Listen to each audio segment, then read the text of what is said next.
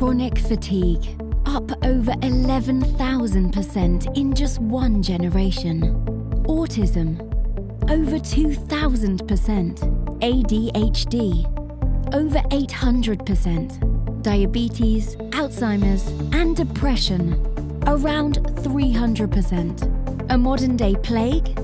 Scientists say so, but it's not a deadly virus destroying our minds and bodies. This plague is caused by something we willingly allow into our homes every day. Actually, wait in line to get. What is it? Electromagnetic fields, or EMFs.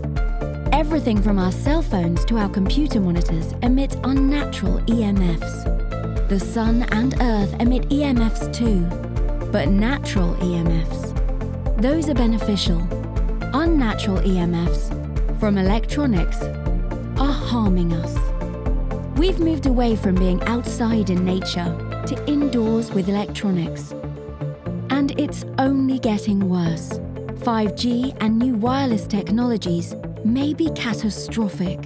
Hundreds of published studies show a clear link between EMFs and poor health, or worse.